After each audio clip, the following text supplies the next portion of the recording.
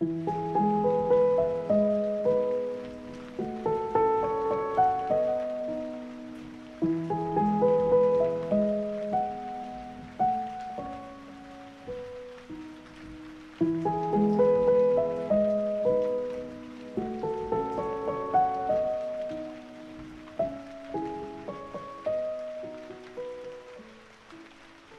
friends, and welcome to the second installment of this reading of Winnie the Pooh. This recording is available with as well as without the sound of gentle rain. The individual chapters have been marked so that you don't have to listen to all of it in one go and can easily come back to where you left off. All of that can be found in the description below. Now, let us unwind and find a comfortable and safe place to relax and listen to these stories.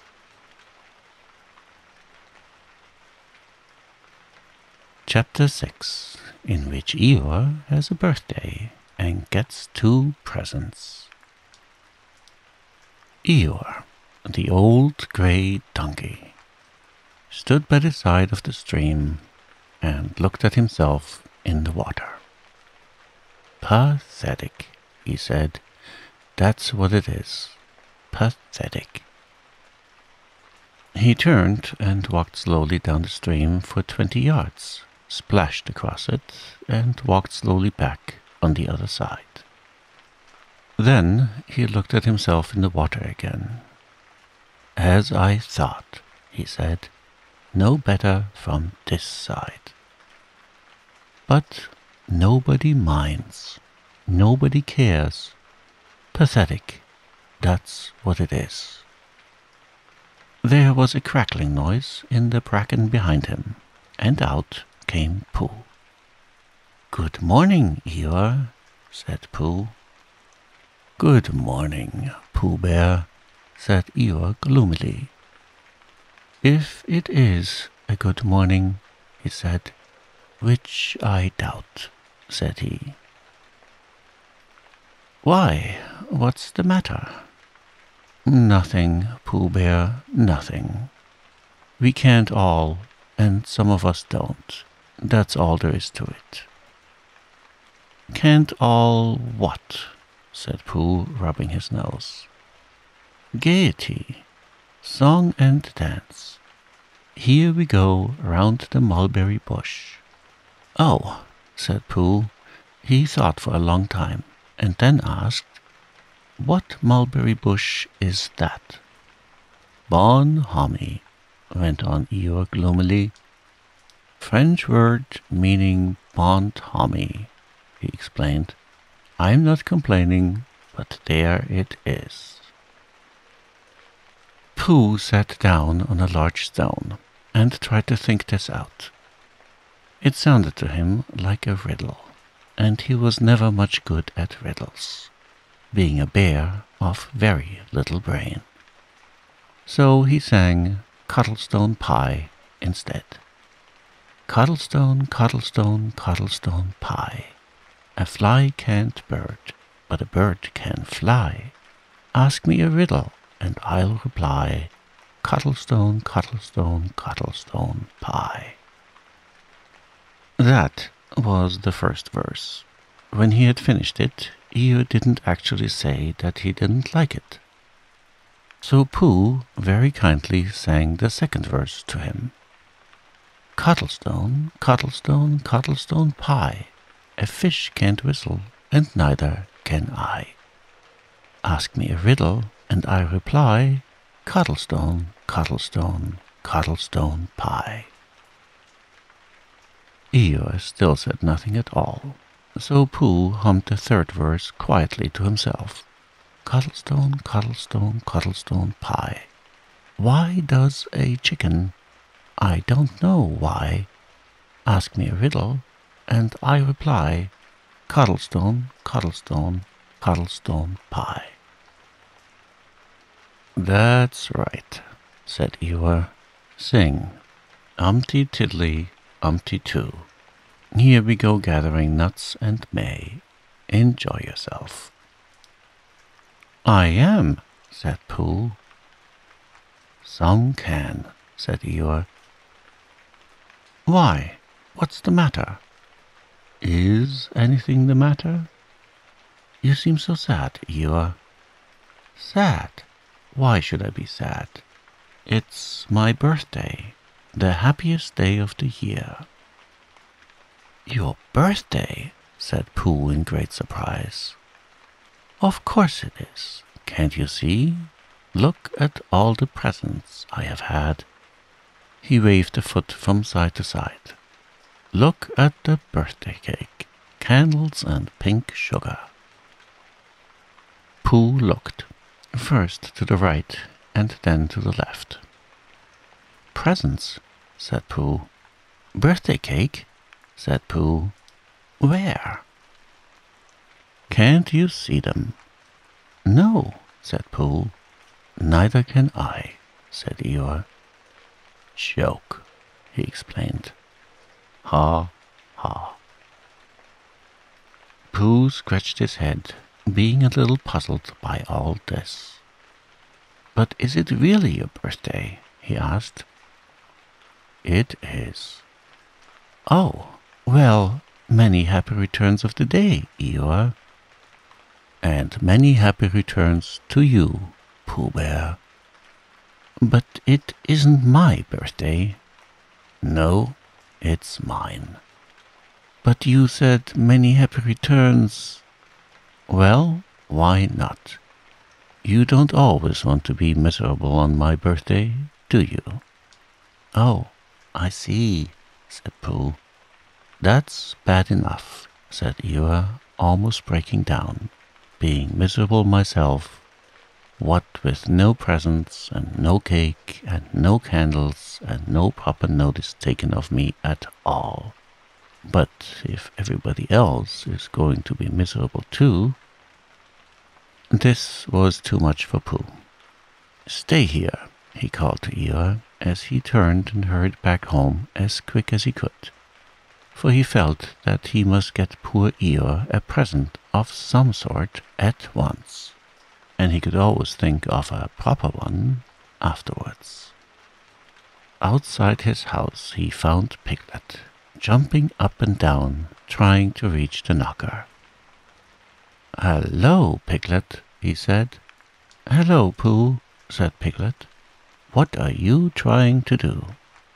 I was trying to reach the knocker, said Piglet.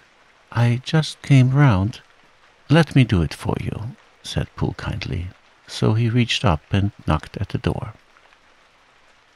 I have just seen Eeyore, he began, and poor Eeyore is in a very sad condition, because it's his birthday, and nobody has taken any notice of it and he's very gloomy. You know what Eeyore is, and there he was, and what a long time whoever lives here is answering this door. And he knocked again. But Pooh, said Piglet, it's your own house. Oh, said Pooh, so it is, he said. Well, let's go in. So in they went. The first thing Pooh did was to go to the cupboard to see if he had quite a small jar of honey left. And he had, so he took it down. I'm giving this to Eeyore, he explained, as a present. What are you going to give? Could I give it too? said Piglet. From both of us? No, said Pooh. That would not be a good plan. All right then, I'll give him a balloon. I've got one left from my party. I'll go and get it now. Shall I? That, Piglet, is a very good idea. It is just what Eeyore wants to cheer him up. Nobody can be uncheered with a balloon. So off Piglet trotted, and in the other direction went Pooh with his jar of honey. It was a warm day, and he had a long way to go. He hadn't gone more than halfway when a sort of funny feeling began to creep all over him. It began at the tip of his nose and trickled all through him and out at the soles of his feet. It was just as if somebody inside him were saying, Now then, Pooh, time for a little something. Dear, dear, said Pooh, I didn't know it was as late as that. So he sat down and took the top of his jar of honey. Lucky I brought this with me, he thought. Many a bear going out on a warm day like this would never have thought of bringing a little something with him. And he began to eat.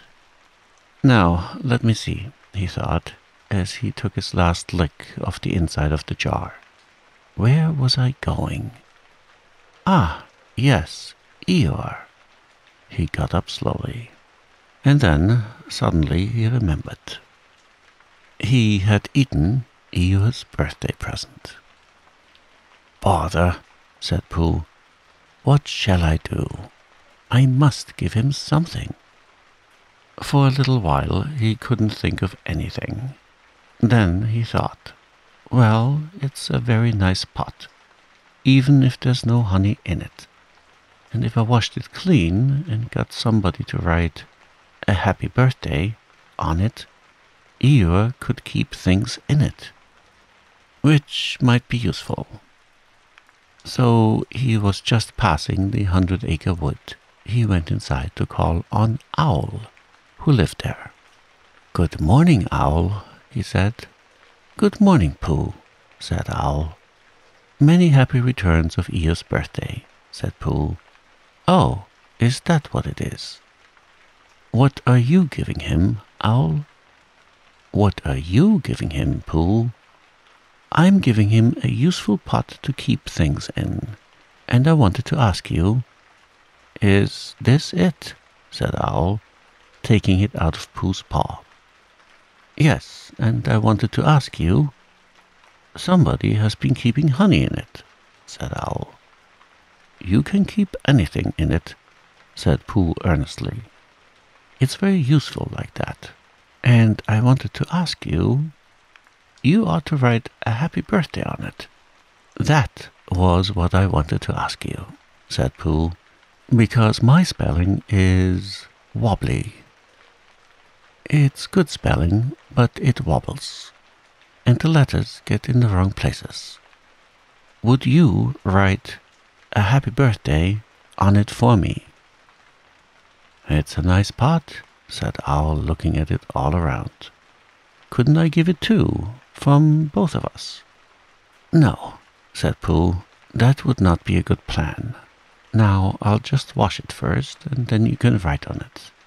Well, he washed the pot out and dried it, while Owl licked the end of his pencil and wondered how to spell birthday. Can you read, Pooh? he asked a little anxiously.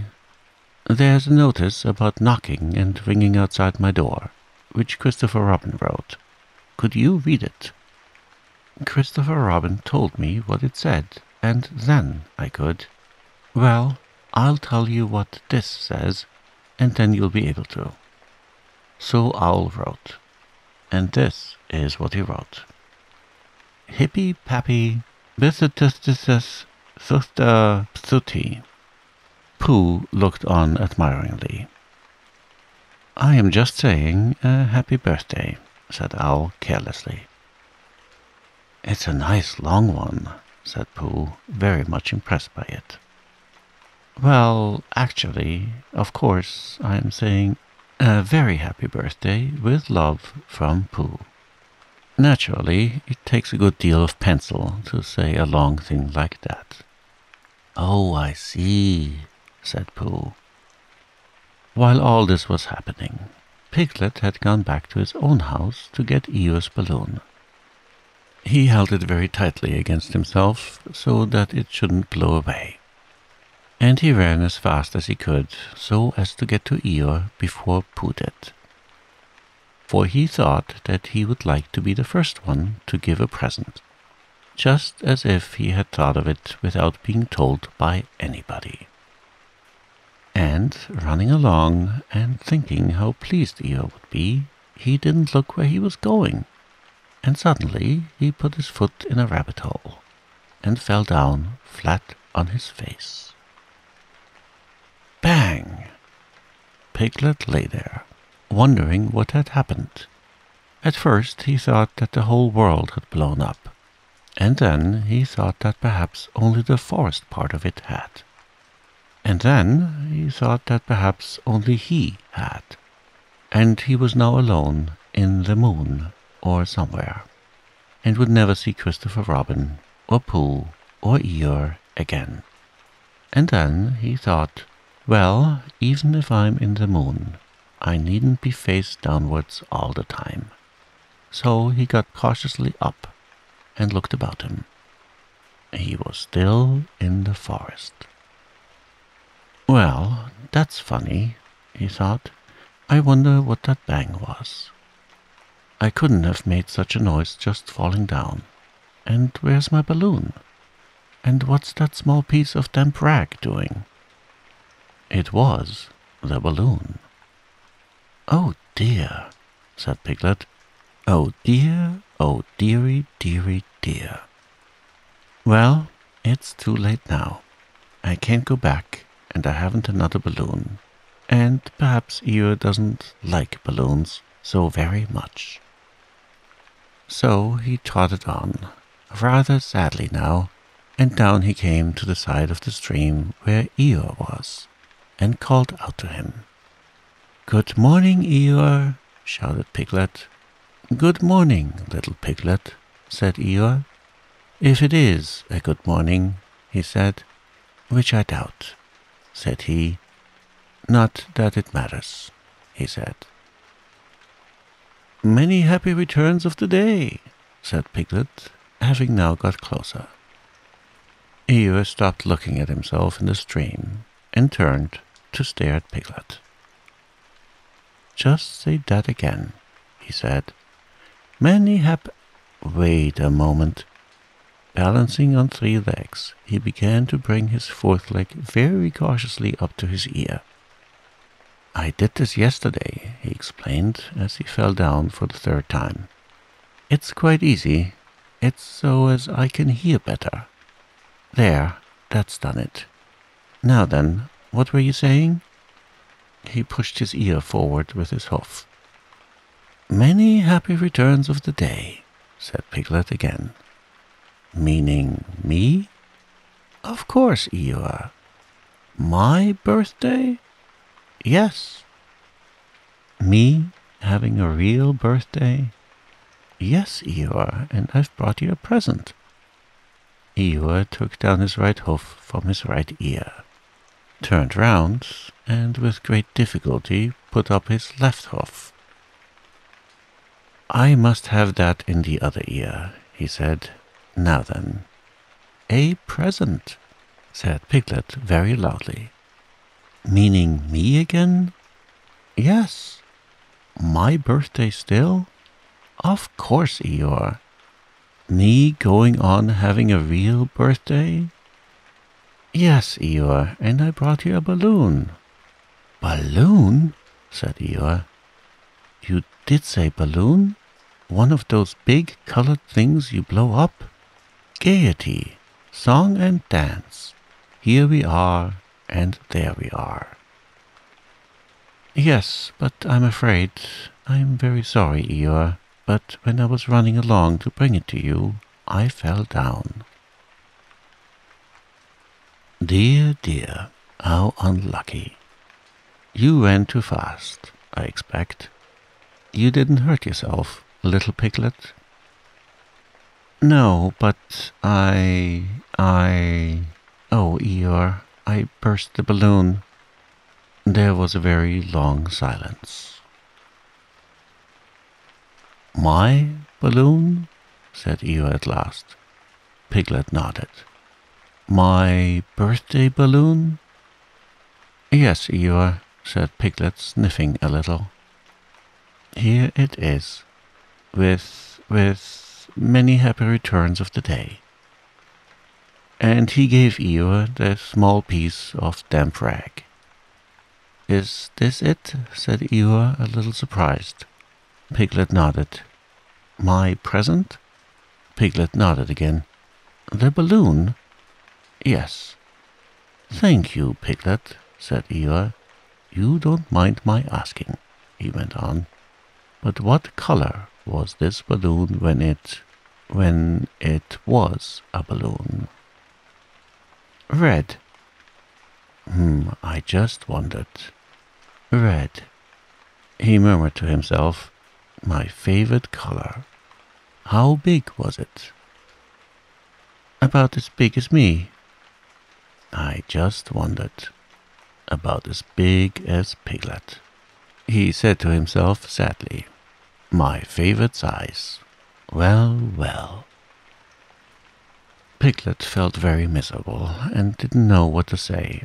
He was still opening his mouth to begin something and then decided that it wasn't any good saying that when he heard a shout from the other side of the river, and there was Pooh. Many happy returns of the day, called out Pooh, forgetting that he had said it already.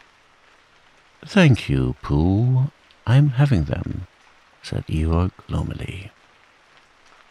I've brought you a little present, said Pooh excitedly. I've had it, said Eeyore. Pooh had now splashed across the stream to Eeyore, and Piglet was sitting a little way off, his head in his paws, snuffling to himself. It's a useful pot, said Pooh. Here it is, and it's got a very happy birthday with love from Pooh written on it. That's what all that writing is. And it's for putting things in. There. When Eeyore saw the pot, he became quite excited. Why, he said, I believe my balloon will just go into that pot. Oh, no, Eeyore, said Pooh.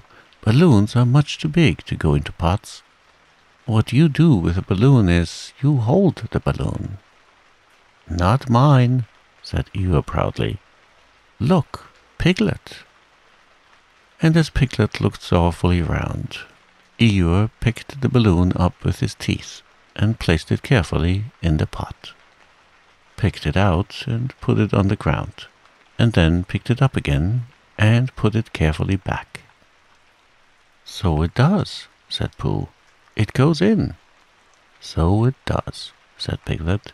And it comes out. Doesn't it? said Eeyore. It goes in and out like anything. I'm very glad, said Pooh happily, that I thought of giving you a useful pot to put things in. I'm very glad, said Piglet happily, that I thought of giving you something to put in a useful pot. But Eeyore wasn't listening. He was taking the balloon out and putting it back in, as happy as could be. And didn't I give him anything? asked Christopher Robin sadly. Of course you did, I said. You gave him, don't you remember, a little, a little... I gave him a box of paints to paint things with. That was it. Why didn't I give it to him in the morning? You were so busy getting his party ready for him. He had a cake with icing on top. And three candles, and his name in pink sugar. And yes, I remember, said Christopher Robin.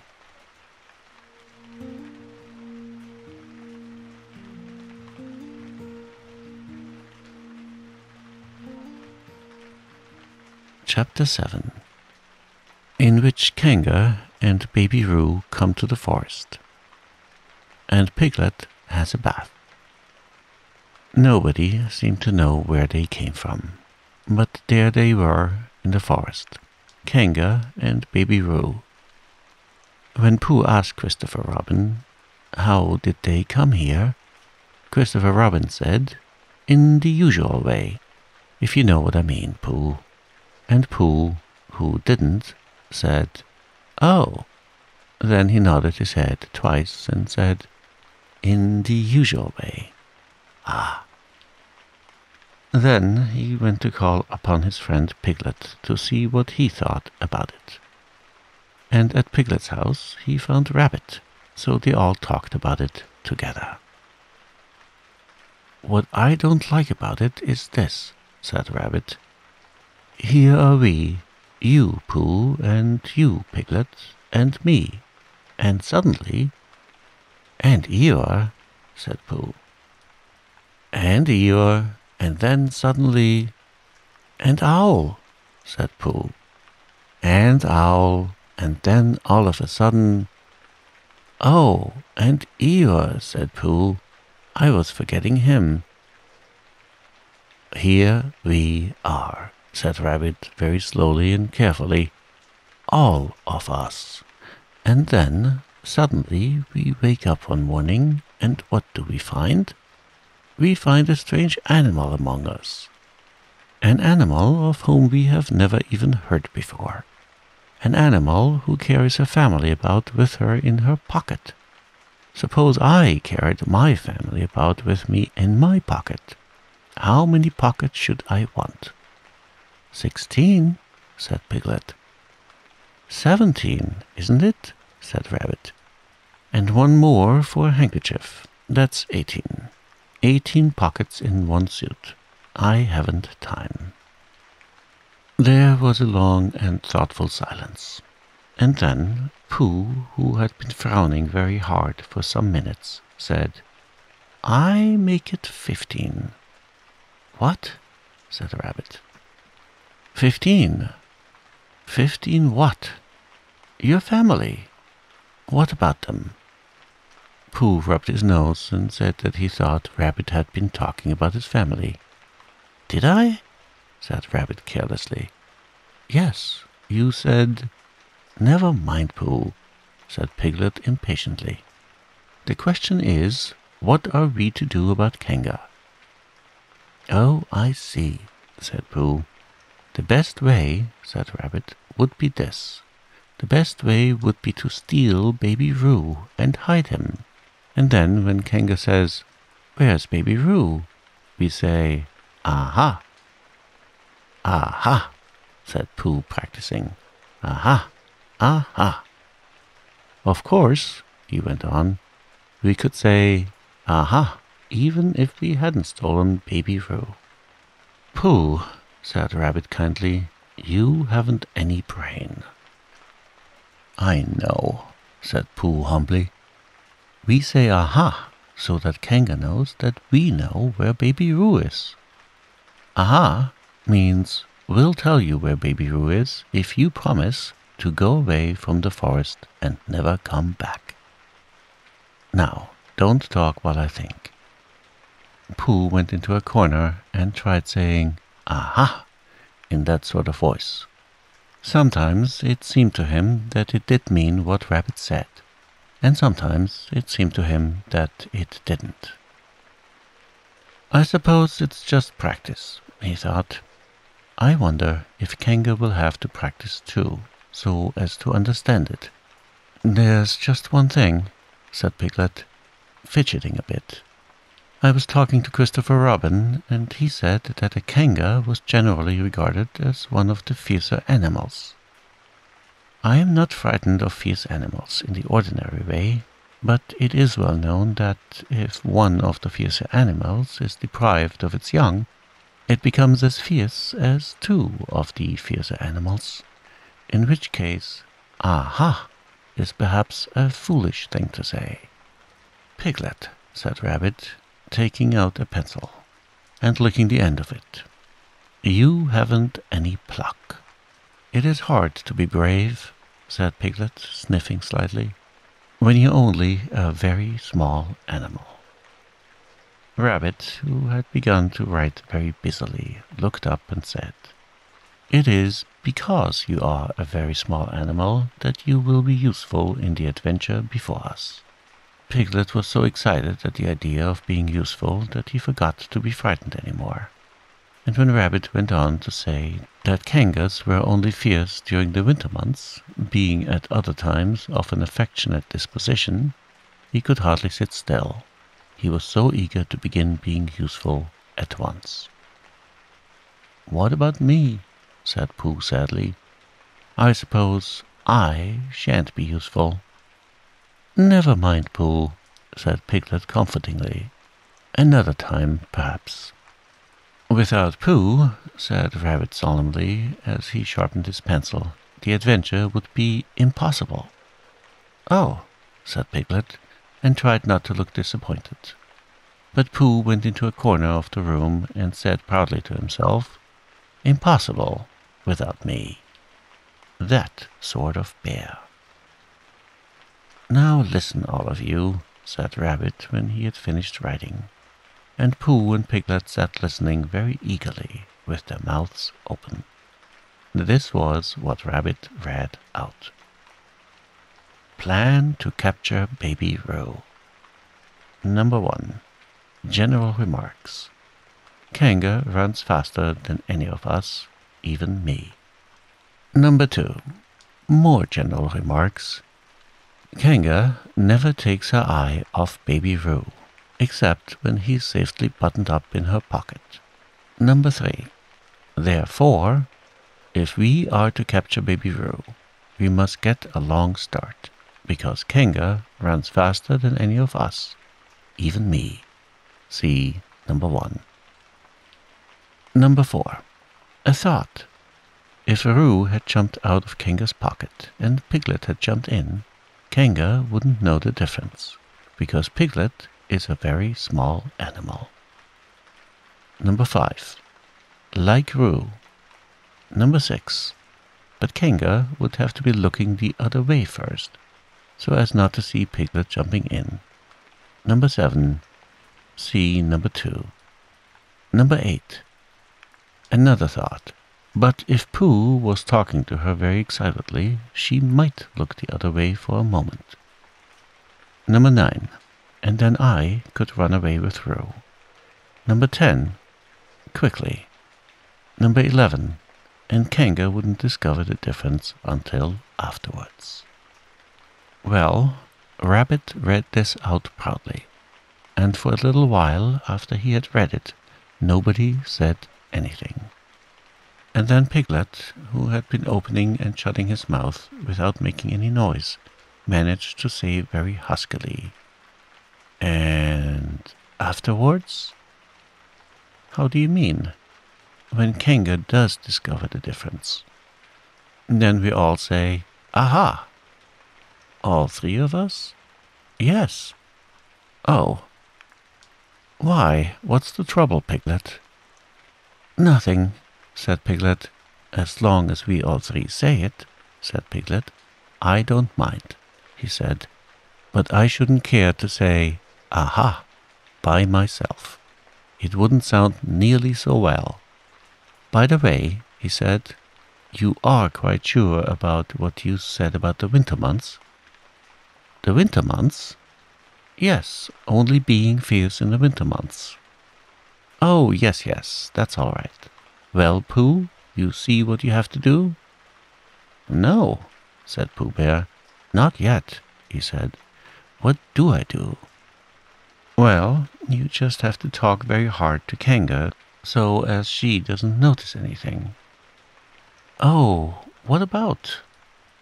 Anything you like. You mean like telling her a little bit of poetry or something? That's it, said Rabbit. Splendid. Now come along. So they all went out to look for Kanga. Kanga and Roo were spending a quiet afternoon in the sandy part of the forest. Baby Roo was practicing very small jumps in the sand and falling down mouse holes and climbing out of them. And Kanga was fidgeting about and saying, Just one more jump, dear, and then we must go home. And at that moment, who should come stumping up the hill but Pooh? Good afternoon, Kanga. Good afternoon, Pooh. Look at me jumping, squeaked Roo, and fell into another mouse hole. Hello, Roo, my little fellow. We were just going home, said Kanga. Good afternoon, Rabbit. Good afternoon, Piglet. Rabbit and Piglet, who had now come up from the other side of the hill, said, Good afternoon. And, Hello, Roo. And Roo asked them to look at him jumping, so they stayed and looked. And Kanga looked too. Oh, Kanga, said Pooh after Rabbit had winked at him twice, I don't know if you're interested in poetry at all. Hardly at all, said Kanga. Oh, said Pooh. Roo, dear, just one more jump and then we must go home. There was a short silence, while Roo fell down another mouse hole. Go on, said Rabbit in a loud whisper behind his paw. Talking of poetry, said Pooh, I made up a little piece as I was coming along. It went like this. Er, no, let me see. Fancy, said Kanga. Now, Roo dear, you'll like this piece of poetry, said Rabbit. You'll love it, said Piglet. You must listen to it very carefully, said Rabbit, so as not to miss any of it, said Piglet. Oh, yes, said Kanga, but she still looked at Baby Roo. How did it go, Pooh? said Rabbit. Pooh gave a little cough and began. Lines written by a bear of very little brain. On Monday, when the sun is hot, I wonder to myself a lot. Now it is true, or is it not, that what is which and which is what? On Tuesday, when it hails and snows, the feeling on me grows and grows, that hardly anybody knows if those are these or these are those. On Wednesday, when the sky is blue and I have nothing else to do, I sometimes wonder if it's true that who is what and what is who. On Thursday, when it starts to freeze, and hoarfrost twinkles on the trees, how very readily one sees that these are whose, but whose are these? On Friday, Yes, it is, isn't it? said Kanga, not waiting to hear what happened on Friday. Just one more jump, oh dear, and then we really must be going. Rabbit gave Pooh a hurrying up sort of nudge. Talking of poetry, said Pooh quickly, have you ever noticed that tree right over there? Where? said Kanga. Now, Roo, Right over there, said Pooh, pointing behind Kanga's back. No, said Kanga. Now jump in, dear, and we'll go home. You ought to look at that tree right over there, said Rabbit. Shall I lift you in, Roo? And he picked up Roo in his paws. I can see a bird in it from here, said Pooh. Or is it a fish?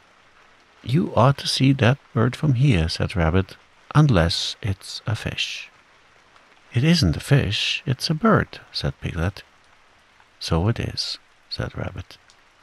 Is it a starling or a blackbird? said Pooh. That's the whole question, said Rabbit. Is it a blackbird or a starling? And then, at last, Kanga did turn her head to look.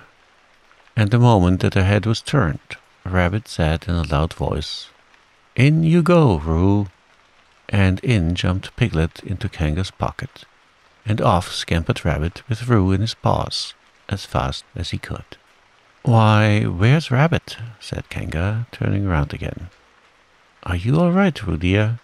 Piglet made a squeaky Roo noise from the bottom of Kanga's pocket. Rabbit had to go away, said Pooh. I think he thought of something he had to go and see about suddenly. And Piglet? I think Piglet thought of something at the same time. Suddenly.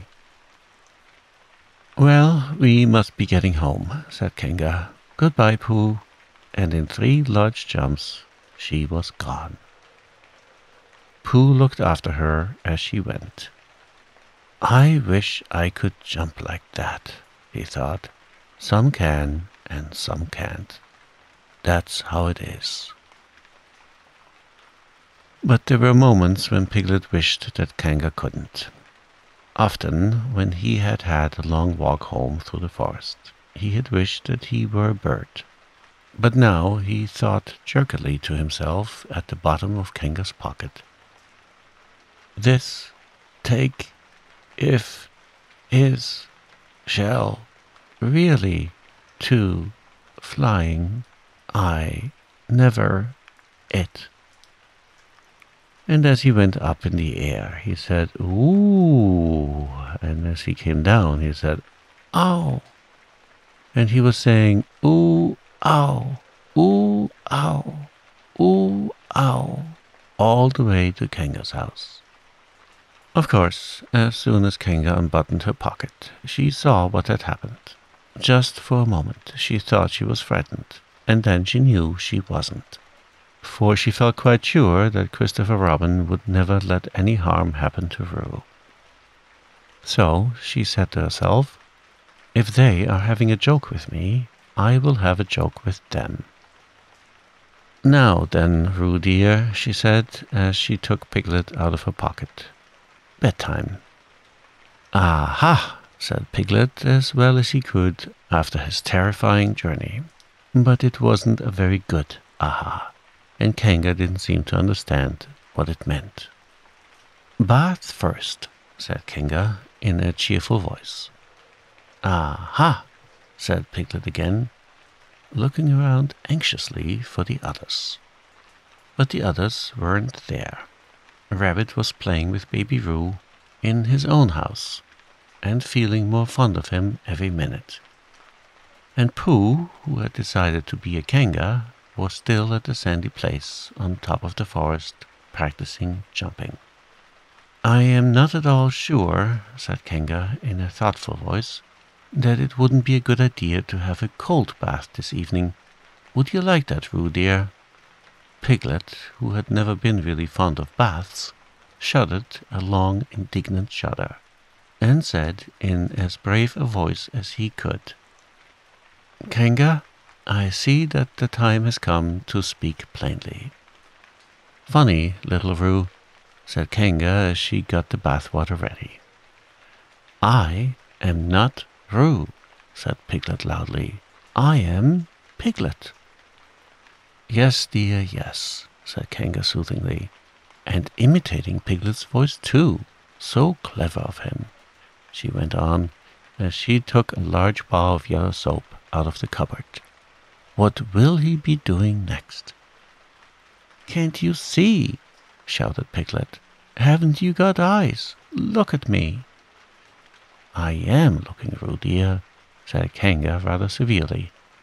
And you know what I told you yesterday about making faces. If you go on making faces like piglets, you will grow up to look like Piglet, and then think how sorry you will be. Now then, into the bath and don't let me have to speak to you about it again. Before he knew where he was, Piglet was in the bath, and Kanga was scrubbing him firmly with a large, leathery flannel. Oh, cried Piglet, let me out. I'm Piglet. Don't open your mouth, dear, or the soap goes in, said Kanga. There, what did I tell you? You, you, you did it on purpose, spluttered Piglet as soon as he could speak again, and then accidentally had another mouthful of leathery flannel. That's right, dear, don't say anything, said Kanga, and in another minute Piglet was out of the bath and being rubbed dry with a towel. Now, said Kanga, there's your medicine, and then bed. Uh, uh, what medicine? Said Piglet. To make you grow big and strong, dear. You don't want to grow up small and weak like Piglet, do you? Well then. At that moment there was a knock at the door. Come in, said Kanga, and in came Christopher Robin. Christopher Robin! Christopher Robin! cried Piglet. Tell Kanga who I am. She keeps saying I'm Roo. I'm not Roo, am I? Christopher Robin looked at him very carefully and shook his head. You can't be Roo, he said, because I've just seen Roo playing in the rabbit's house. Well, said Kanga, fancy that. Fancy my making a mistake like that. There you are, said Piglet. I told you so. I'm Piglet. Christopher Robin shook his head again. Oh, you're not Piglet, he said. I know Piglet well, and he's quite a different color. Piglet began to say that it was because he had just had a bath.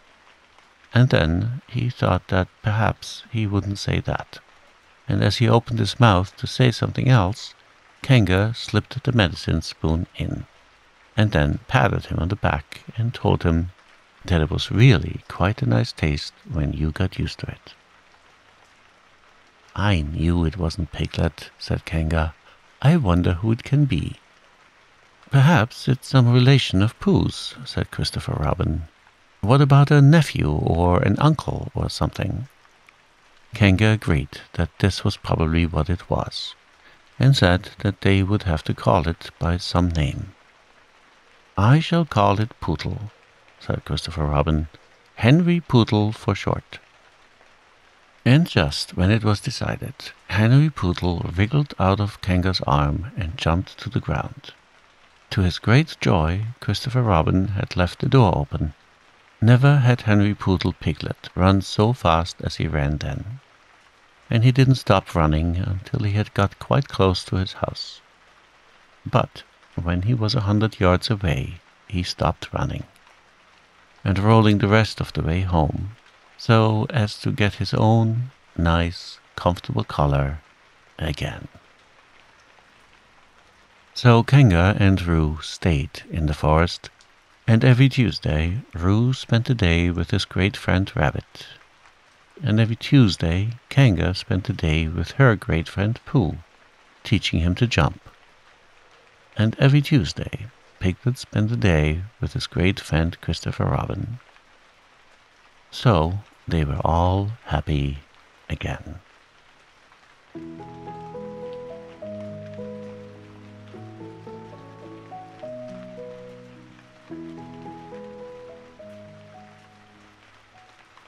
Chapter 8 In which Christopher Robin leads an expedition to the North Pole.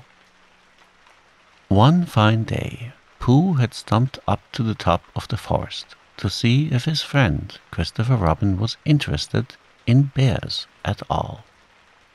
At breakfast that morning, a simple meal of marmalade spread lightly over a honeycomb or two, he had suddenly thought of a new song. It began like this Sing ho for the life of a bear. When he had got as far as this, he scratched his head and thought to himself, That's a very good start for a song, but what about a second line? He tried singing ho two or three times, but it didn't seem to help. Perhaps it would be better, he thought, if I sang hi for the life of a bear. So he sang it, but it wasn't. Very well then, he said, I shall sing that first line twice and perhaps if I sing it very quickly, I shall find myself singing the third and fourth line before I have time to think of them. And that will be a good song. Now then, sing ho for the life of a bear, sing ho for the life of a bear. I don't much mind if it rains or snows, 'cause I've got a lot of honey in my nice new nose. I don't much care if it snows or thaws, 'cause I've got a lot of honey on my nice clean paws. Sing ho for bear, sing ho for Pooh, and I'll have a little something in an hour or two. He was so pleased with this song that he sang it all the way to the top of the forest.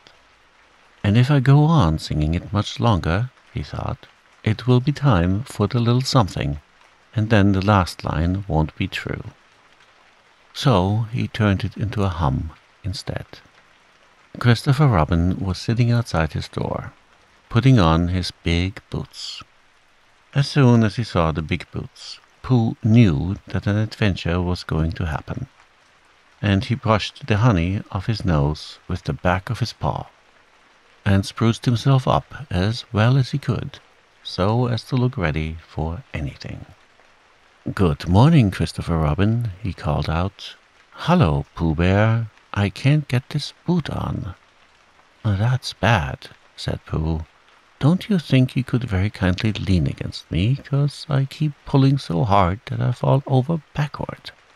Pooh sat down, dug his feet into the ground, and pushed hard against Christopher Robin's back. And Christopher Robin pushed hard against his, and pulled and pulled at his boot until he had got it on. And that's that, said Pooh. What do we do next? We are all going to an expedition, said Christopher Robin, as he got up and brushed himself. Thank you, Pooh. Going on an expedition, said Pooh eagerly. I don't think I've ever been on one of those. Where are we going to on this expedition? Expedition, silly old bear. It's got an X in it. Oh, said Pooh, I know but he didn't really.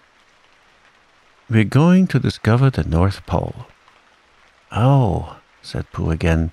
What is the North Pole? he asked. It's just a thing you discover, said Christopher Robin carelessly, not being quite sure himself. Oh, I see, said Pooh. Are bears any good at discovering it? Of course they are, and Rabbit and Kanga and all of you. It's an expedition. That's what an expedition means. A long line of everybody.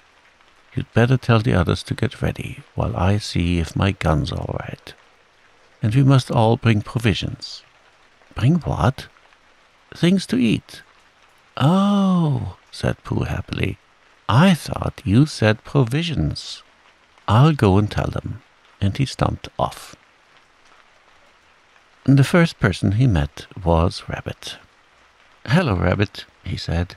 Is that you? Let's pretend it isn't, said Rabbit, and see what happens. I've got a message for you. I'll give it to him. We're all going on an expedition with Christopher Robin. What is it when we are on it? A sort of boat, I think, said Pooh. Oh, that sort, Yes, and we're going to discover a pole or something. Or was it a mole? Anyhow, we're going to discover it. We are, are we? said Rabbit. Yes, and we've got to bring Pro, things to eat with us, in case we want to eat them. Now I'm going down to Piglet's. Tell Kanga, will you? He left Rabbit and hurried down to Piglet's house. The piglet was sitting on the ground at the door of his house, blowing happily at a dandelion, and wondering whether it would be this year, next year, sometime, or never. He had just discovered that it would be never, and was trying to remember what it was, and hoping it wasn't anything nice, when Pooh came up.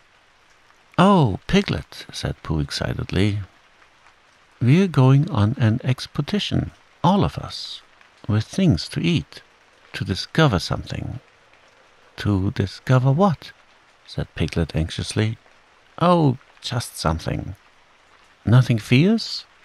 Christopher Robin didn't say anything about fierce. He just said it had an X. It isn't their necks I mind, said Piglet earnestly. It's their teeth.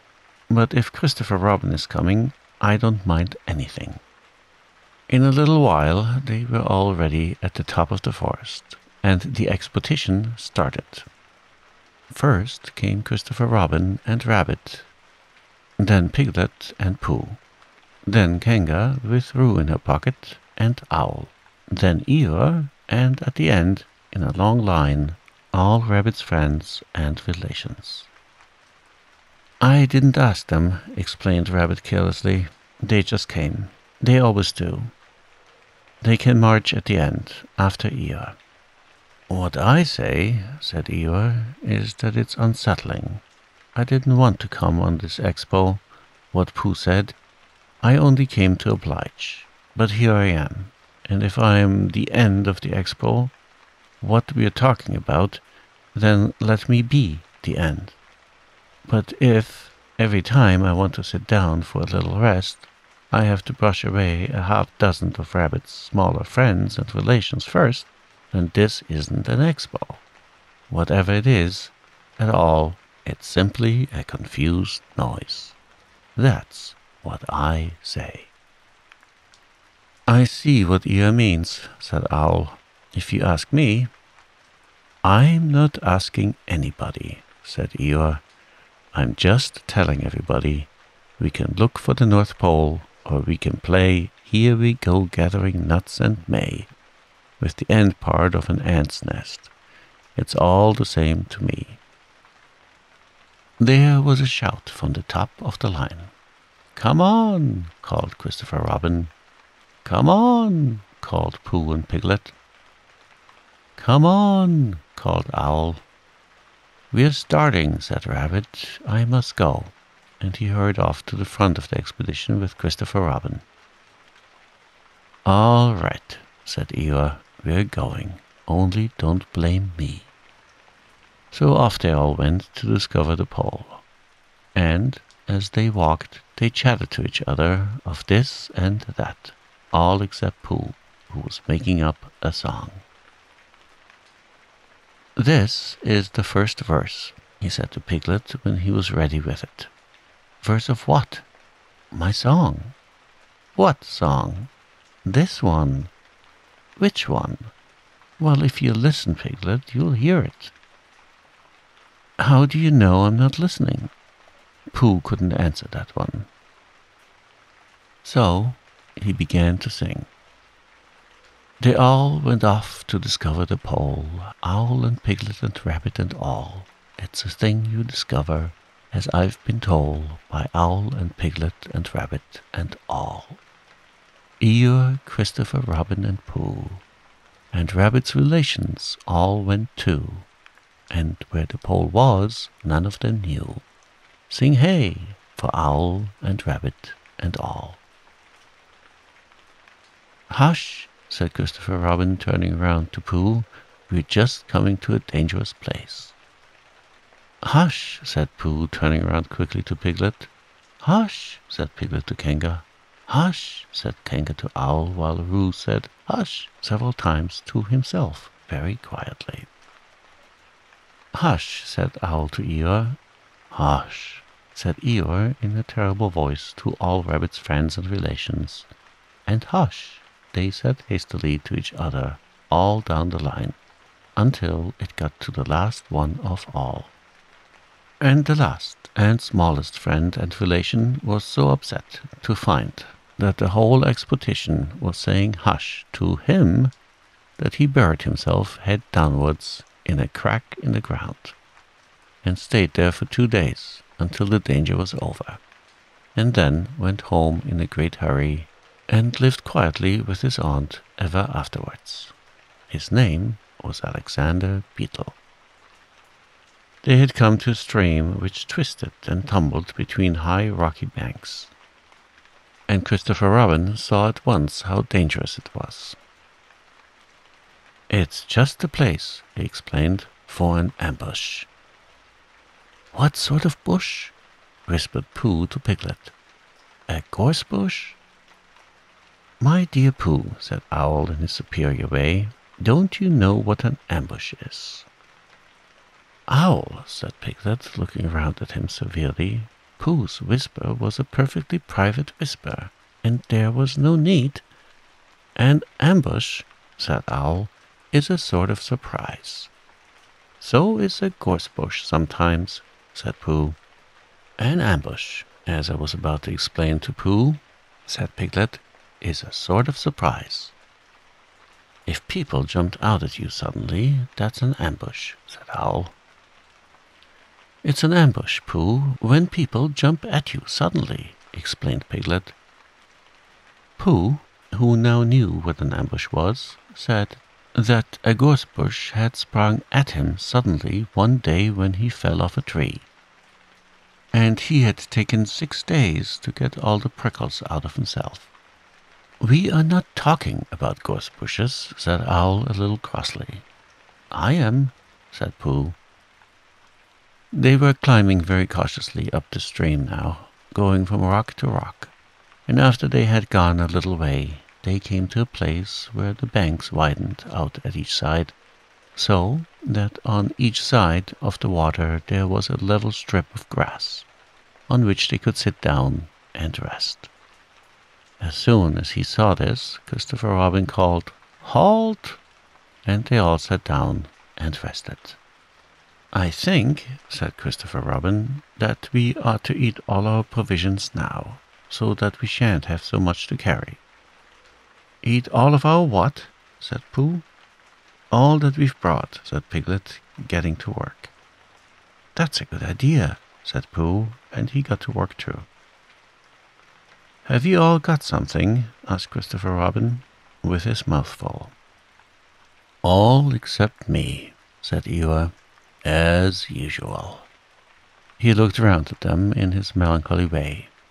I suppose none of you are sitting on a thistle by any chance. I believe I am, said Pooh. Ow! He got up and looked behind him. Yes, I was. I thought so.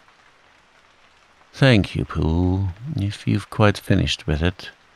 He moved across to Pooh's place and began to eat. It don't do them any good, you know, sitting on them, he went on, as he looked up, munching. Takes all the life out of them. Remember that another time, all of you. A little consideration, a little thought for others, makes all the difference. As soon as he had finished his lunch, Christopher Robin whispered to Rabbit, and Rabbit said, Yes, yes, of course and they walked a little way up the stream together. I didn't want the others to hear, said Christopher Robin. Quite so, said Rabbit, looking important. It's. I wondered. It's only.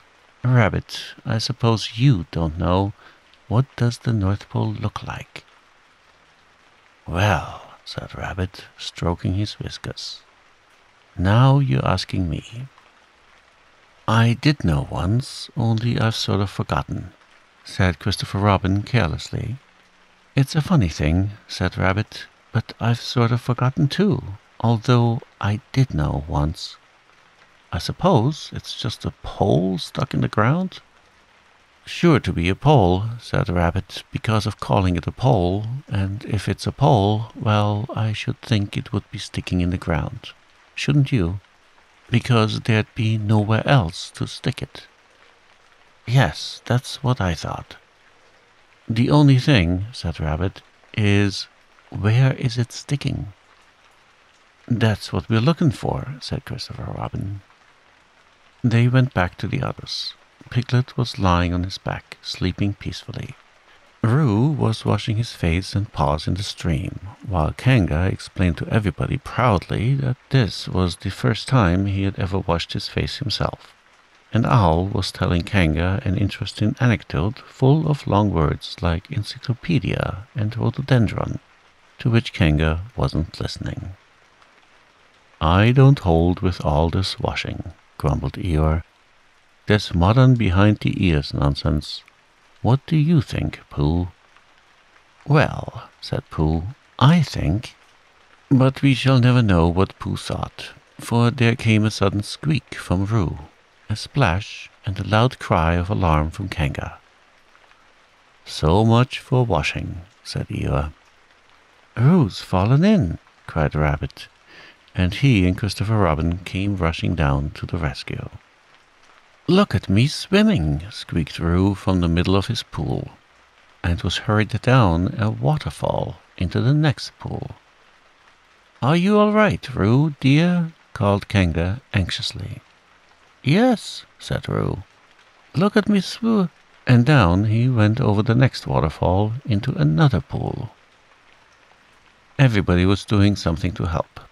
Piglet, wide awake suddenly, was jumping up and down and making "Ooh, I say" noises. Owl was explaining that in a case of sudden and temporary immersion, the important thing was to keep the head above water. Kanga was jumping along the bank, saying, Are you sure you're all right, Roo dear? To which Roo, from whatever pool he was in at the moment, was answering, Look at me swimming.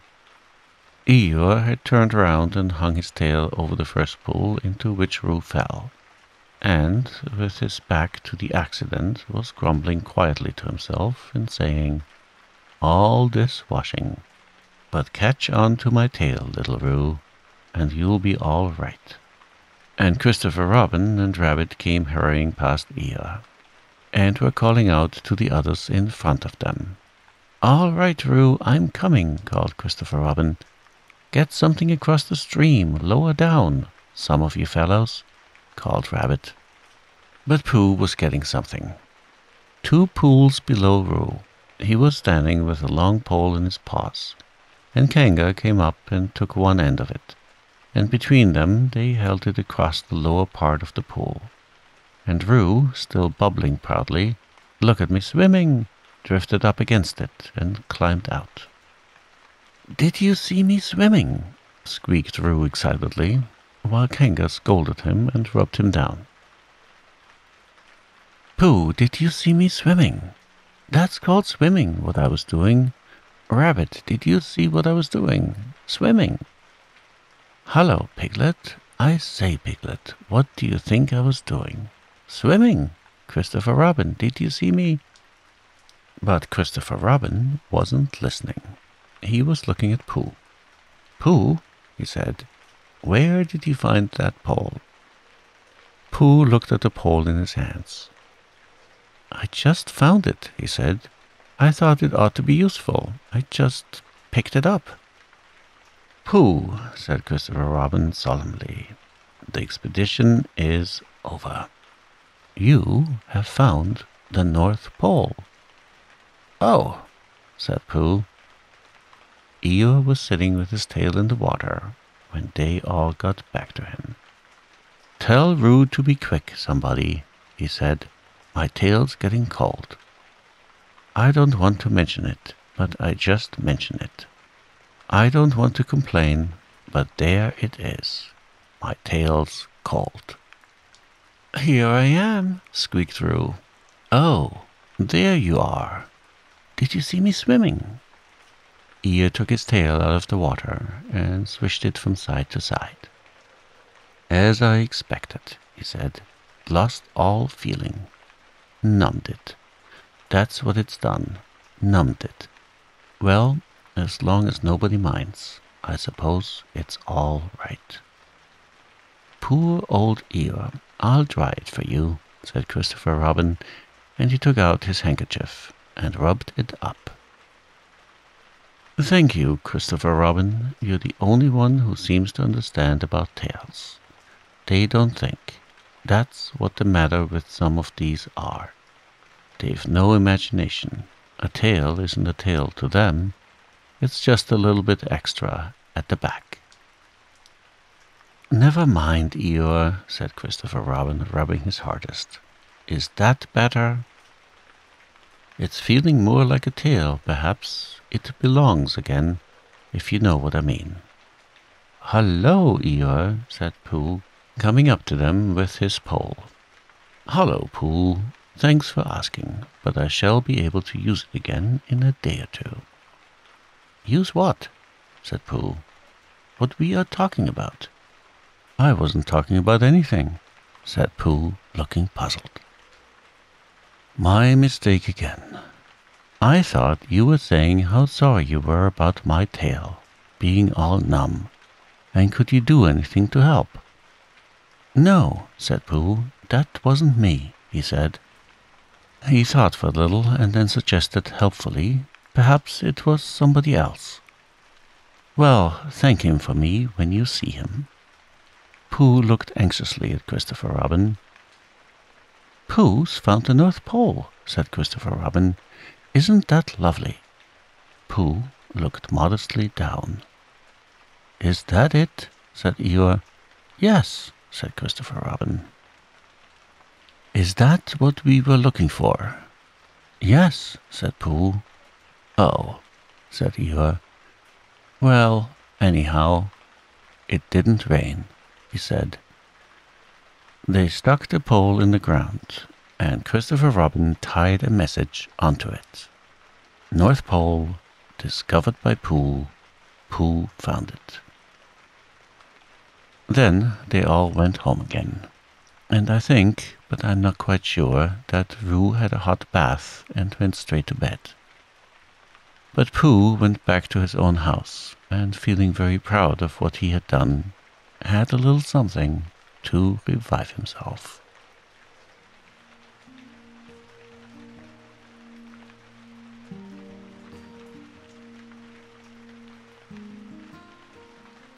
Chapter 9 In which Piglet is entirely surrounded by water. It rained and it rained and it rained. Piglet told himself that never in all his life had he and he was goodness knows how old, three, was it, or four? Never had he seen so much rain. Days and days and days. If only, he thought, as he looked out of the window, I had been in Pooh's house, or Christopher Robin's house, or Rabbit's house when it began to rain. Then I should have had company all this time instead of being here all alone with nothing to do except wonder when it will stop. And he imagined himself with Pooh, saying, Did you ever see such rain, Pooh? And Pooh saying, Isn't it awful, Piglet? And Piglet saying, I wonder how it is over Christopher Robin's way. And Pooh saying, I should think poor old Rabbit is about flooded out by this time. It would have been jolly to talk like this. And really, it wasn't much good having anything exciting like floods, if you couldn't share them with somebody. For it was rather exciting. The little dry ditches in which Piglet had nosed about so often had become streams. The little streams across which he had splashed were rivers, and the river, between whose steep banks they had played so happily, had sprawled out of its own bed and was taking up so much room everywhere that Piglet was beginning to wonder whether it would be coming into his bed soon. It's a little anxious, he said to himself, to be a very small animal entirely surrounded by water. Christopher Robin and Pooh could escape by climbing trees, and Kanga could escape by jumping, and Rabbit could escape by burrowing, and Owl could escape by flying, and Eeyore could escape by, by making a loud noise until rescued. And here I am, surrounded by water, and I can't do anything. It went on raining, and every day the water got a little higher, until now it was nearly up to Piglet's window. And still he hadn't done anything. There's Pooh, he thought to himself. Pooh hasn't much brain, but he never comes to any harm. He does silly things, and they turn out right. There's Owl. Owl hasn't exactly got brain, but he knows things. He would know the right thing to do when surrounded by water. And there's Rabbit. He hasn't learned in books, but he can always think of a clever plan.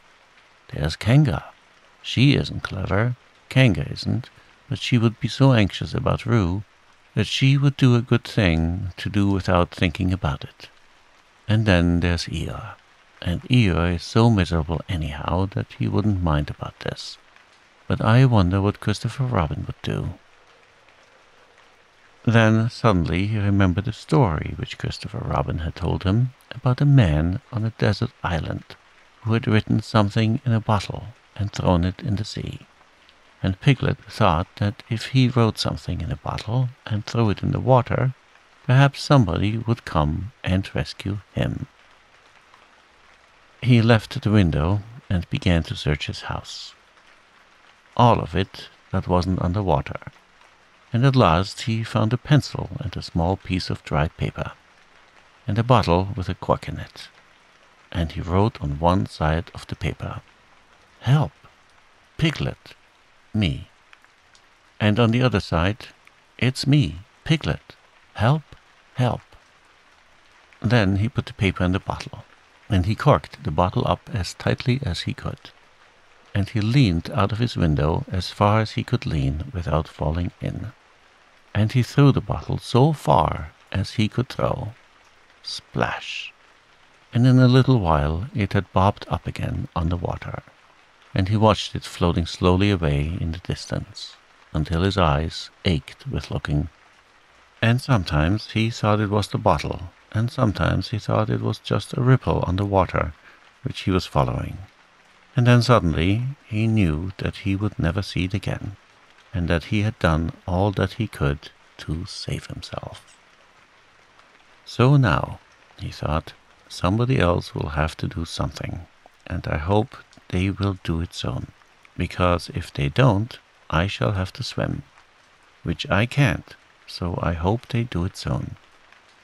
And then he gave a very, very long sigh and said, I wish Pooh were here.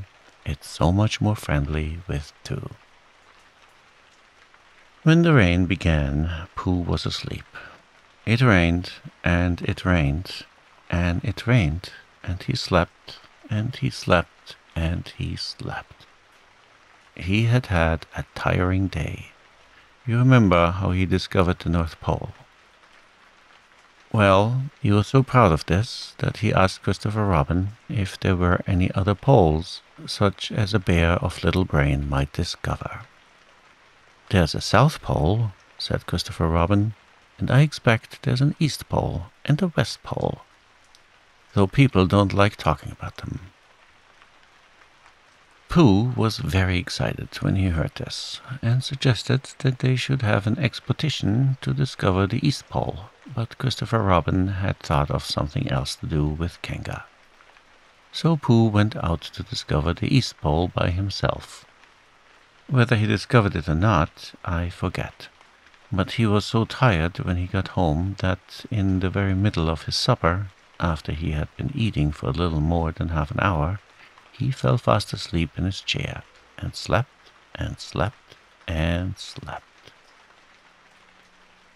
Then suddenly he was dreaming. He was at the East Pole, and it was a very cold pole with the coldest sort of snow and ice all over it. He had found a beehive to sleep in, but there wasn't room for his legs, so he had left them outside.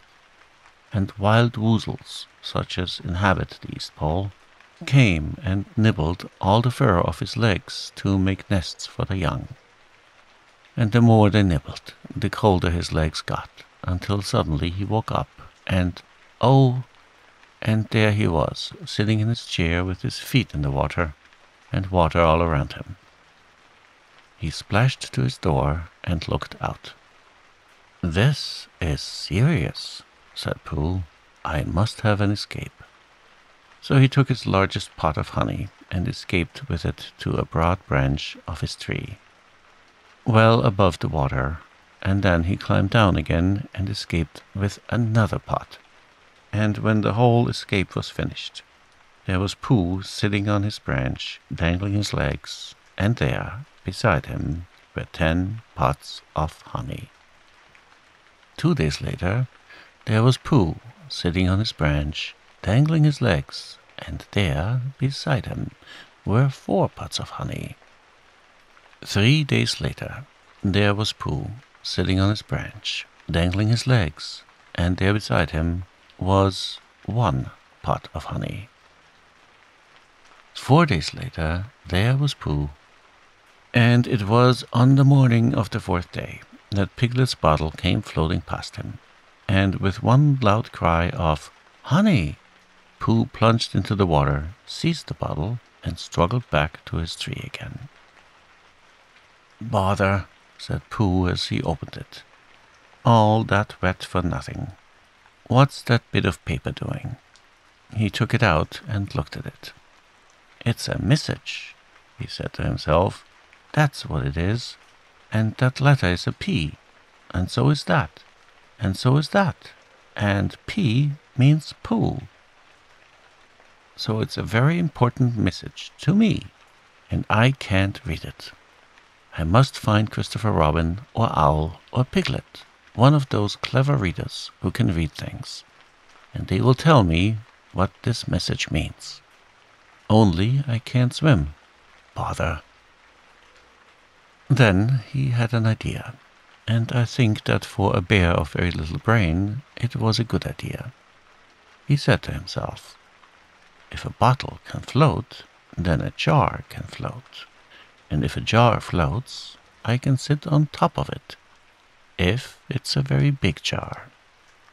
So he took his biggest jar and corked it up. All boats have to have a name, he said, so I shall call mine the Floating Bear. And with these words he dropped his boat into the water and jumped in after it. For a little while, Pooh and the floating bear were uncertain as to which of them was meant to be on the top. But after trying one or two different positions, they settled down with the floating bear underneath and Pooh triumphantly astride it, paddling vigorously with his feet. Christopher Robin lived at the very top of the forest. It rained, and it rained, and it rained. But the water couldn't come up to his house. It was rather jolly to look down into the valleys and see the water all around him, but it rained so hard that he stayed indoors most of the time and thought about things. Every morning he went out with his umbrella and put a stick in the place where the water came up to. And every next morning he went out and couldn't see his stick any more so he put another stick in the place where the water came up to. And then he walked home again, and each morning he had a shorter way to walk than he had the morning before. On the morning of the fifth day he saw the water all around him, and knew that for the first time in his life he was on a real island, which was very exciting. It was on this morning that Owl came flying over the water to say, How do you do? to his friend Christopher Robin. I say, Owl, said Christopher Robin, isn't this fun? I'm on an island. The atmospheric conditions have been very unfavorable lately, said Owl. The what? It has been raining, explained Owl. Yes, said Christopher Robin, it has. The flood level has reached an unprecedented height. The who? There's a lot of water about, explained owl. Yes, said Christopher Robin, there is. However, the prospects are rapidly becoming more favorable. At any moment. Have you seen Pooh? No, at any moment. I hope he's all right, said Christopher Robin. I've been wondering about him. I expect Piglet's with him. Do you think they're all right, Owl? I expect so. You see, at any moment. Do go and see Owl, because Pooh hasn't got very much brain, and he might do something silly, and I do love him so, Owl. Do you see, Owl? That's all right, said Owl. I'll go. Back directly. And he flew off. In a little while he was back again. Pooh isn't there, he said. Not there. He has been there. He's been sitting on a branch of his tree outside his house with nine pots of honey, but he isn't there now. Oh, Pooh! cried Christopher Robin. Where are you? Here I am, said a growly voice behind him. Pooh! They rushed into each other's arms. How did you get here, Pooh? asked Christopher Robin when he was ready to talk again. On my boat, said Pooh proudly. I had a very important message sent me in a bottle, and owing to having got some water in my eyes, I couldn't read it, so I brought it to you, on my boat. With these proud words, he gave Christopher Robin the message. But it's from Piglet, cried Christopher Robin when he had read it. Isn't there anything about Pooh in it? asked Bear, looking over his shoulder. Christopher Robin read the message aloud. Oh, are those P's Piglet's? I thought they were Pooh's. We must rescue him at once. I thought he was with you, Pooh. Owl, could you rescue him on your back? I don't think so, said Owl after grave thought. It is doubtful if the necessary dorsal muscles. Then would you fly to him at once and say that rescue is coming? And Pooh and I will think of a rescue and come as quick as ever we can. Don't talk, Owl. Go on, quick. And still thinking of something to say, Owl flew off. Now then, Pooh, said Christopher Robin, where is your boat? I ought to say, explained Pooh as they walked down to the shore of the island, that it isn't just an ordinary sort of boat. Sometimes it's a boat, and sometimes it's more of an accident. It all depends. Depends on what? On whether I'm on top of it or underneath it. Oh, well, where is it? There, said Pooh, pointing proudly at the floating bear. It wasn't what Christopher Robin expected, and the more he looked at it, the more he thought what a brave and clever bear Pooh was. And the more Christopher Robin thought this, the more Pooh looked modestly down his nose and tried to pretend he wasn't. But it's too small for two of us, said Christopher Robin sadly.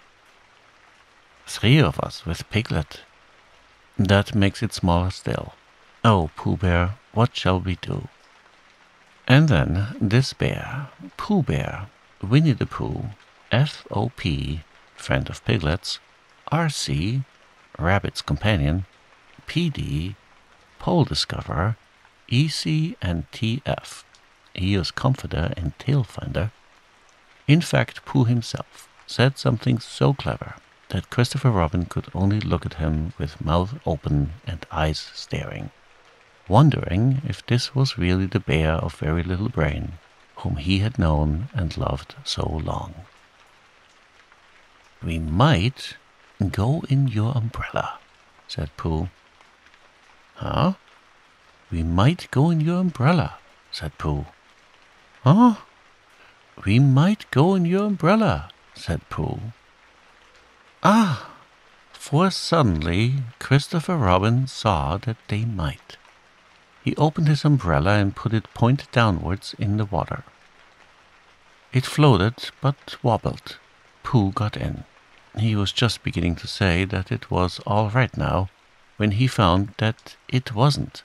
So after a short drink, which he really didn't want, he waded back to Christopher Robin. Then they both got in together, and it wobbled no longer. I shall call this boat the Brain of Pooh, said Christopher Robin, and the Brain of Pooh set sail forthwith in a southwesterly direction, revolving gracefully. You can imagine Piglet's joy when at last the ship came in sight of him. In after years, he liked to think that he had been in very great danger during the terrible flood.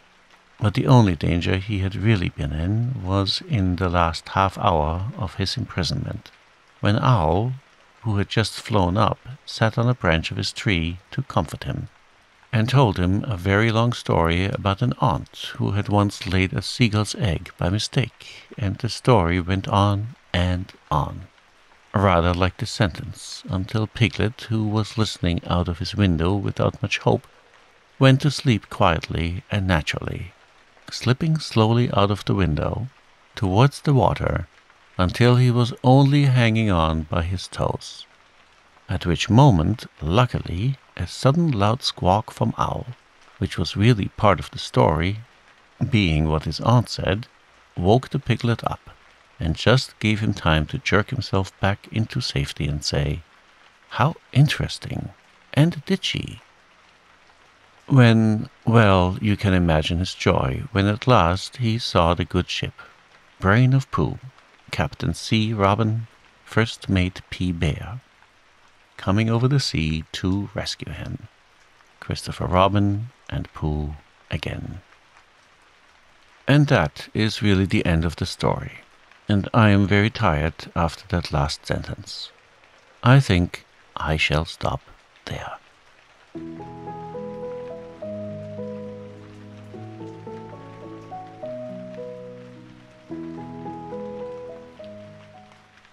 Chapter 10 In which Christopher Robin gives Pooh a party and we say goodbye.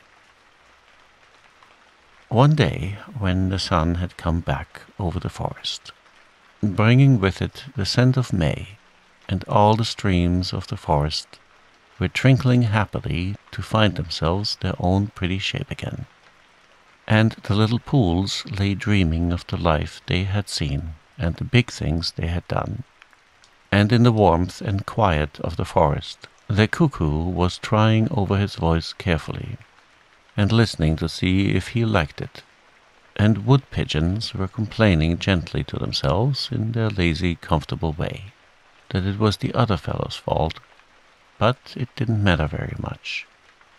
On such a day as this, Christopher Robin whistled in a special way he had and Owl came flying out of the hundred acre wood to see what was wanted.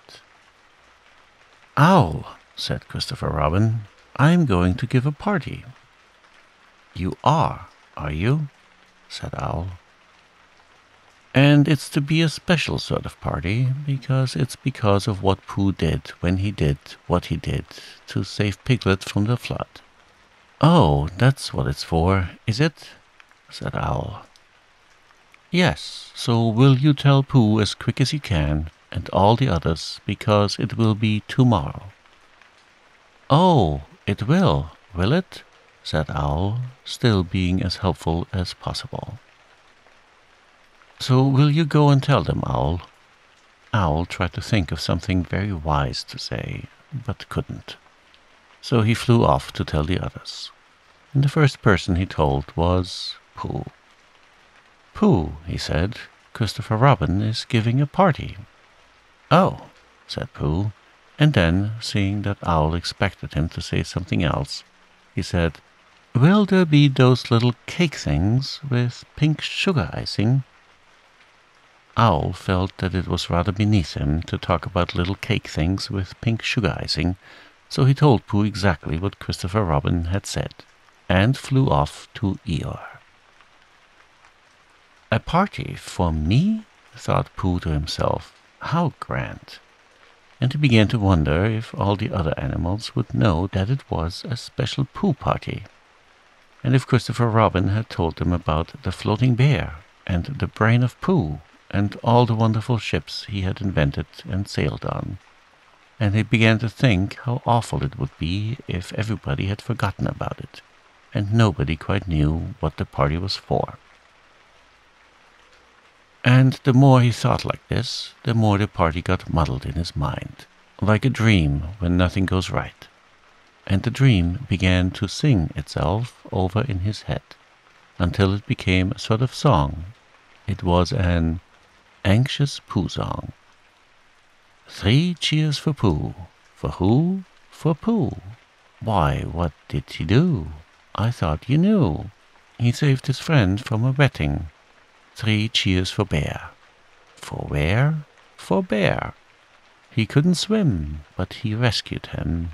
He rescued who? Oh, listen, do. I am talking of Pooh. Of who? Of Pooh. I'm sorry I keep forgetting. Well, Pooh was a bear of enormous brain. Just say it again. Of enormous brain. Of enormous what? Well, he ate a lot and I don't know if he could swim or not, but he managed to float on a sort of boat. On a sort of what? Well, a sort of pot. So now let's give him three hearty cheers. So now let's give him three hearty riches, and hope he'll be with us for years and years, and grow in health and wisdom and riches. Three cheers for Pooh. For who? For Pooh. Three cheers for Bear. For where? For Bear. Three cheers for the wonderful Winnie the Pooh. Just tell me, somebody, what did he do? While this was going on inside him, Owl was talking to Eeyore. Eeyore, said Owl, Christopher Robin is giving a party. Very interesting, said Eeyore. I suppose they will be sending me down the odd bits which got trodden on. Kind and thoughtful. Not at all. Don't mention it. There's an invitation for you.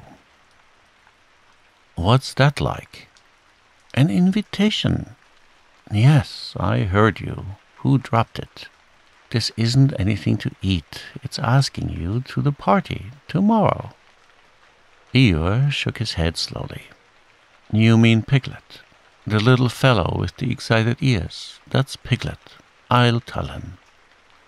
No, no, said Owl, getting quite fussy. It's you. Are you sure? Of course I'm sure. Christopher Robin said all of them. Tell all of them. All of them except Eeyore? All of them, said Owl sulkily. Ah, said Eeyore, a mistake no doubt, but still I shall come. Only don't blame me if it rains. But it didn't rain. Christopher Robin had made a long table out of some long pieces of wood, and they all sat around it. Christopher Robin sat at one end and Pooh sat at the other. And between them, on one side, there were Owl and Eeyore and Piglet, and between them on the other side were Rabbit and Roo and Kanga. And all Rabbit's friends and relations spread themselves about on the grass, and waited hopefully in case anybody spoke to them, or dropped anything, or asked them the time. It was the first party to which Roo had ever been, and he was very excited. As soon as ever they had sat down, he began to talk. Hello, Pooh, he squeaked. Hello, Roo, said Pooh. Roo jumped up and down in his seat for a little while, and then began again. Hello, Piglet, he squeaked. Piglet waved a paw at him, being too busy to say anything. Hello, Eeyore, said Roo. Eeyore nodded gloomily at him. It will rain soon. You see if it doesn't, he said. Roo looked to see if it didn't, and it didn't. So he said, Hello, Owl. And Owl said, Hello, my little fellow, in a kind way, and went on telling Christopher Robin about an accident which had nearly happened to a friend of his whom Christopher Robin didn't know and Kanga said to Roo, Drink up your milk first, dear, and talk afterwards. So Roo, who was drinking his milk, tried to say that he could do both at once, and had to be patted on the back and dried for quite a long time afterwards. When they had all nearly eaten enough, Christopher Robin banged on the table with his spoon, and everybody stopped talking and was very silent except Roo, who was just finishing a loud attack of hiccups and trying to look as if it was one of Rabbit's relations. This party, said Christopher Robin, is a party because of what someone did, and we all know who it was. And it's his party, because of what he did, and I've got a present for him, and here it is. Then he felt about a little and whispered, where is it? While he was looking, Eeyore coughed in an impressive way and began to speak. Friends, he said, including oddments, it is a great pleasure, or perhaps I had better say it has been a pleasure so far, to see you at my party. What I did was nothing, and of you, except Rabbit and Owl and Kanga, would have done the same. Oh, and Pooh. My remarks do not, of course, apply to Piglet and Roo, because they are too small. Any of you would have done the same, but it just happened to be me. It was not, I need hardly say, with any idea of getting what Christopher Robin is looking for now. And he put his front leg to his mouth and said in a loud whisper, Try under the table.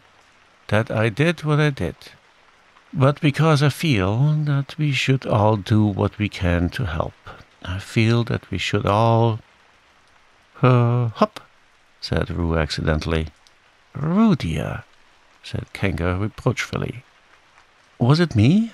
asked Roo, a little surprised. What's you talking about? Piglet whispered to Pooh. I don't know, said Pooh rather dolefully. I thought it was your party. I thought it was once, but I suppose it isn't. I'd sooner it was yours than Eeyore's, said Piglet. So would I, said Pooh. Hup, said Roo again. As I was saying, said Eeyore loudly and sternly, as I was saying when I was interrupted by various loud sounds, I feel that. Here it is, cried Christopher Robin excitedly. Pass it down to silly old Pooh. It's for Pooh. For Pooh, said Eeyore. Of course it is. The best bear in all the world. I might have known, said Eeyore. After all, one can't complain. I have my friends. Somebody spoke to me only yesterday. And was it last week or the week before that Rabbit bumped into me and said, Bother. The social round. Always something going on. Nobody was listening. For they were all saying, Open it, Pooh. What is it, Pooh? I know what it is. No, you don't. And other helpful remarks of this sort. And of course, Pooh was opening it as quickly as ever he could. But without cutting the string, because you never know when a bit of string might be useful. At last it was undone. When Pooh saw what it was, he nearly fell down. He was so pleased. It was a special pencil case. There were pencils in it marked B for bear and pencils marked HB for helping bear and pencils marked BB for brave bear. There was a knife for sharpening the pencils and India rubber for rubbing out anything which you had spelt wrong and a ruler for ruling lines for the words to walk on and inches marked on the ruler in case you wanted to know how many inches anything was. And blue pencils, and red pencils, and green pencils for saying special things in blue and red and green. And all these lovely things were in little pockets of their own in a special case which shut with a click when you clicked it. And they were all for Pooh. Oh, said Pooh, Oh, Pooh, said everybody else except Eeyore. Thank you, growled Pooh, but Eeyore was saying to himself, This writing business, pencils and whatnot, overrated. If you ask me, silly stuff, nothing in it. Later on, when they had all said goodbye and thank you to Christopher Robin, Pooh and Piglet walked home thoughtfully together in the golden evening and for a long time they were silent. When you wake up in the morning, Pooh, said Piglet at last, what's the first thing you say to yourself? What's for breakfast? said Pooh. What do you say, Piglet? I say, I wonder what's going to happen exciting today, said Piglet. Pooh nodded thoughtfully. It's the same thing, he said. And what did happen? asked Christopher Robin. When? Next morning. I don't know. Could you think and tell me and Pooh sometime? If you wanted it very much. Pooh does, said Christopher Robin. He gave a deep sigh, picked his bear up by the leg, and walked off to the door, trailing Winnie the Pooh behind him. At the door he turned and said, coming to see me have my bath? I might, I said. Was Pooh's pencil case any better than mine? It was just the same, I said. He nodded and went out. And in a moment I heard Winnie the Pooh bump, bump, bump, going up the stairs behind him.